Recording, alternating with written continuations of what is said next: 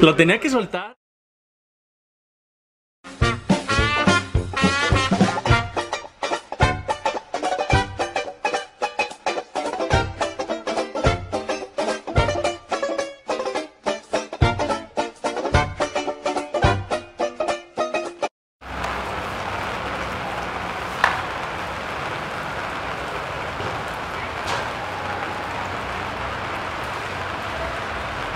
El dinero, güey.